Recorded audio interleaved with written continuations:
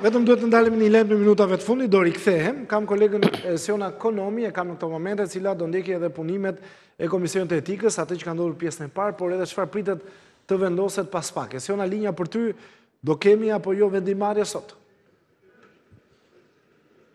Do të kemi vendimmarrje, mbledhja në fakt shumë më e gjatë se ç'ishte parashikuar, po shkon gati një orë e gjysmë, janë vetëm socialistët, pasi pasi demokratët bënë atë rrëmujën në komision të ligjeve dhe më pas shkuan edhe si mysafirë të paftuar në sallën e kryetarit të grupit parlamentar socialist, më pas bënë një deklaratë këtu përpara kuvendit dhe u larguan. Mandej socialistët filluan të vetëm mbledhjen, Dhe aktualisht ajo që po raportohet se po ndodh është se po shikohen me shumë kujdes të gjitha pamjet e kamerave të sigurisë së kuvendit në mënyrë që asnjë deputet të mos dënohet më shumë se ç'meriton.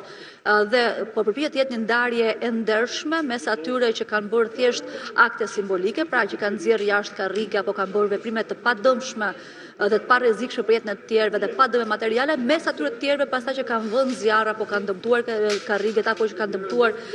sinjalistikën, foninë e kuvendit apo aq më keq kanë tentuar të gjuajnë me mjete të forta kryetaren e kuvendit. Kështu që për të parë dhe për të verifikuar me saktësi çfarë ka bërë gjithsecili, janë duke u parë me imtësi pamjet mes katër deputetëve të Partisë Socialiste që po drejtojnë këtë mbledhje, dhe do të ketë nga çasti në çast një vendimmarrje, ndërkohë që ajo që është e sigurt është se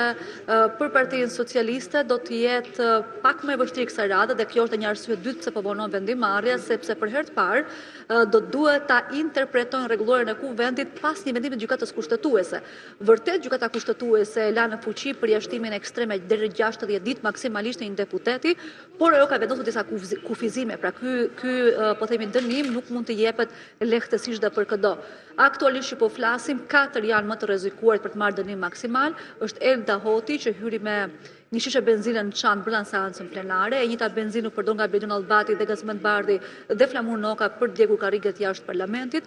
Gazmend Bardhi ka dalë specifik që është personi që një copë të karriges e hodhi drejt kryetares së kuvendit. Për ta të katërt është duke u menduar dënim maksimal, përjashtim maksimal. Që do të thotë, kjo do të presim nga çasti në çast të përfundojë mbledhja sepse ajo është në vazhdim. Dënim maksimal, Dënim maksimal është me 60 ditë përjashtim. Është përjashtim maksim, me maksimumi 60 ditë nga punimet parlamentare, do të thotë në 2 muaj uh, kalendarikë, por në këtë rast nuk është aq e lehtë që socialistët ta vendosin këtë masë ndëshkimore, sepse gjykata kushtetuese e ka limituar këtë këtë masë ndëshkimore të vendoset vetëm në kushte të veçanta kur ka përsëritje e tjera e tjera. Do të çmohet nëse është ky rasti për t'i përjashtuar me 60 ditë, apo do t'ia hedhin paq me 30 ditë, sepse nuk parashikohet një masë më e butë për ata të katërt. Mirë Esiona, të falënderoj, sapo të kesh të reja do lidhemi përsëri bashkë, faleminderit.